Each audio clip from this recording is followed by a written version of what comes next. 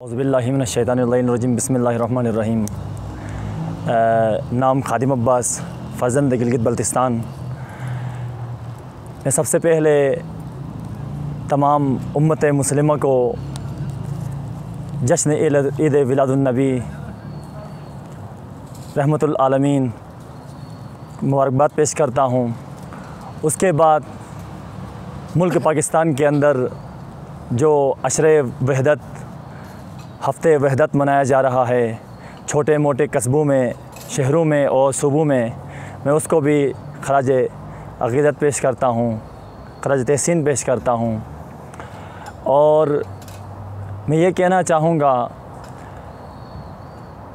जहाँ तक ये वहदत की बात हो रही है, वहदत हर एक मुसलमान की, हर एक मुसलमान की बका की ज़मीन है और हर एक मुसलमान के लिए वाजिब है, ज़रूरी है वहदत वहदत का, बग़ैर वहदत के कौम एक नहीं हो सकती है। अलबत् वहदत को भी हमने ज़ाहिर तौर तक ज़ाहिरियत तक महदूद रखा हुआ है। वहदत हम करते भी हैं तो इसलिए हैं, किसी दूसरे मुसलमान के साथ जब हम वहदत और यकजहती का इजहार करते हैं तो वो भी अपने मफाद और अपने ख़यालात और नज़रिए तक महदूद हो के हम वहदत का पैगाम देते हैं कि हम कैसे इनको अपना बनाएँ। दूसरा सोचता है, कैसे हम इनको अपना बनाएँ।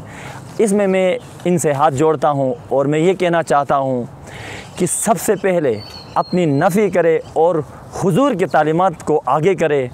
हुजूर ने क्या कहा है? उस पर मनो अनएम्प्लॉयमेंट हो जाए तो ये वहदत ऑटोमेटिकली एक कौम बन सकती है मुस्लिम उम्मा।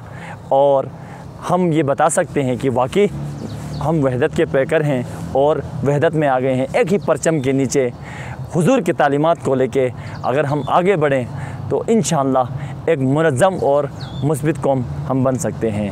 वसलम